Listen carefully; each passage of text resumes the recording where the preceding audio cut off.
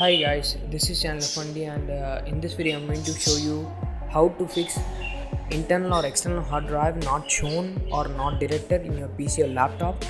So let's get started. There are three types of issues. The first type is that you'll see your uh, internal or external hard drive listed in my computer but you'll not be able to access it as you can see that I'm not able to access this drive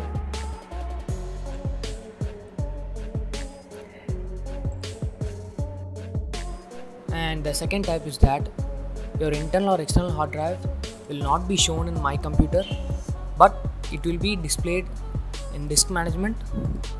This is the drive which has the problem and it will also be shown in device manager under uh, disk drives. Here it is. This is type 2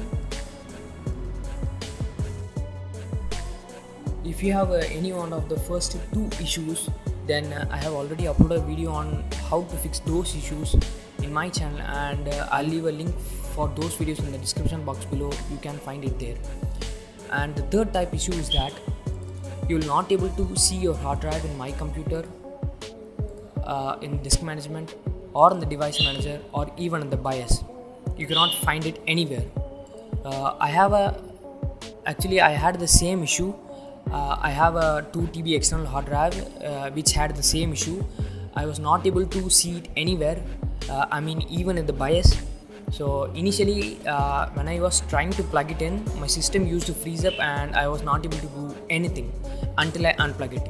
If you have a, this type of issue, all you need to do is just plug in your hard drive and uh, search for Windows Memory Diagnostic click on this and uh, just click on restart now and check for problems.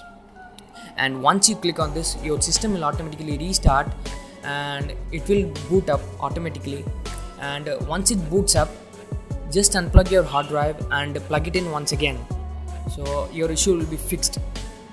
So that's it guys. Thanks for watching. Don't forget to subscribe our channel. Bye